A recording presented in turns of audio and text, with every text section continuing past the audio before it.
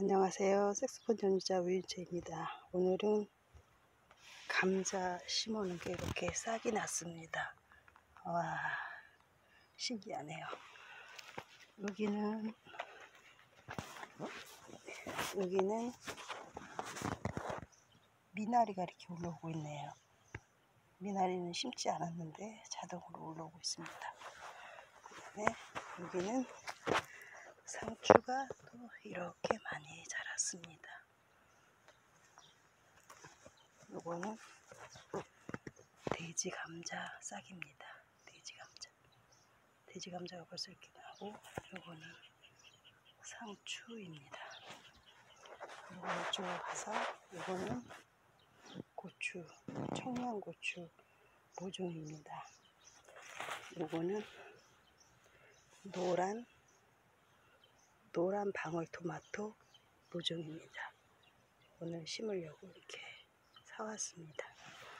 그리고 이쪽으로 가서 이거는 달래이고요. 어, 이거는 한삼덩크를 나오고 있네요. 그 다음에 이것은 당기고요. 이거는 들깻잎. 요거는 개망초입니다. 그리고 요거는 열무 열무이고요. 어, 요거는 부추입니다. 부추가 예쁘게 올라오고 있습니다. 그 다음에 요것은 아욱입니다. 아욱이 이렇게 올라오고 있습니다. 그 다음에 이거는 옥수수고요. 또 어, 저쪽으로 가서 어, 저쪽으로 가서 또 어디 갔냐 이게 어, 요거는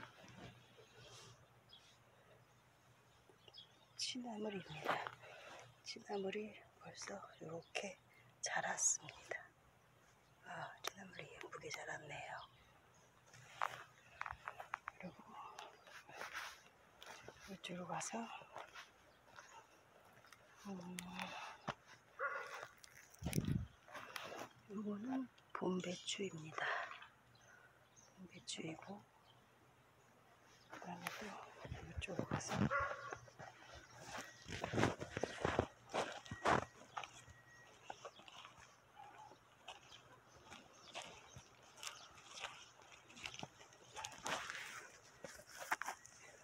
요거는 상추 씨 뿌린 것입니다.